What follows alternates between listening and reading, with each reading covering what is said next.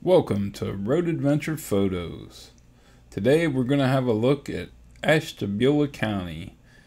It's a county full of mainly covered bridges and a beach.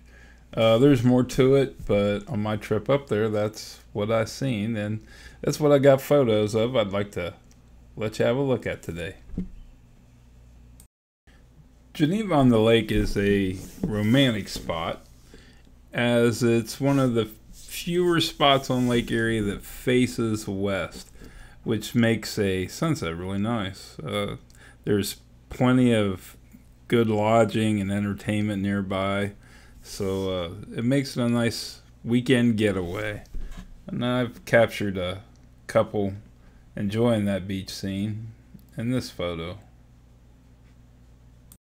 It's also a place for families to get together and I found this what appears to be a grandfather and grandson walking on the beach talking about the future.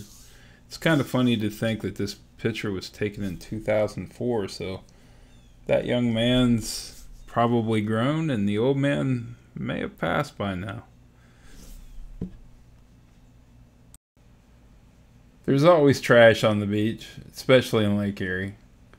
It's got large cities on it, industry, all sorts of things. But I find some beauty in even the rust that washes up on the shore.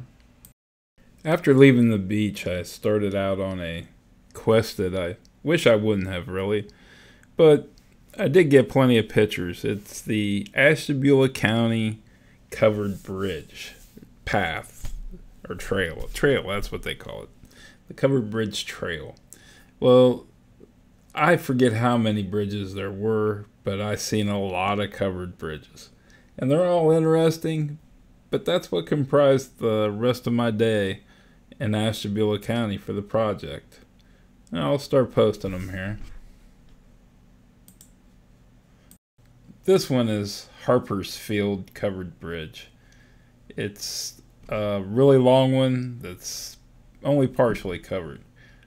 But it's over the Grand River and it's a it's a nice tourist spot and a place to relax. I won't go into these too much. If you want to know more about these covered bridges, you can go to markspearman.com and find the Ashtabula County photos and the details about the bridges are there and you can purchase the photos if you'd like.